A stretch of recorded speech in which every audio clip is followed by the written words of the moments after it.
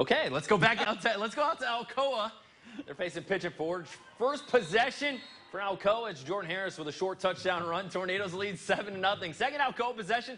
This is Elijah Cannon. Shot out of a cannon. Touchdown run. 14 nothing. Alcoa stretches the lead. More bad news for Pigeon Forge. They fumble the snap and Joe McCord recovers for Alcoa. Ensuing Alcoa possession is Jordan Harris again. That's our guy, and he runs it in for another Alcoa touchdown. Tornadoes win big in this one. 42 to 20.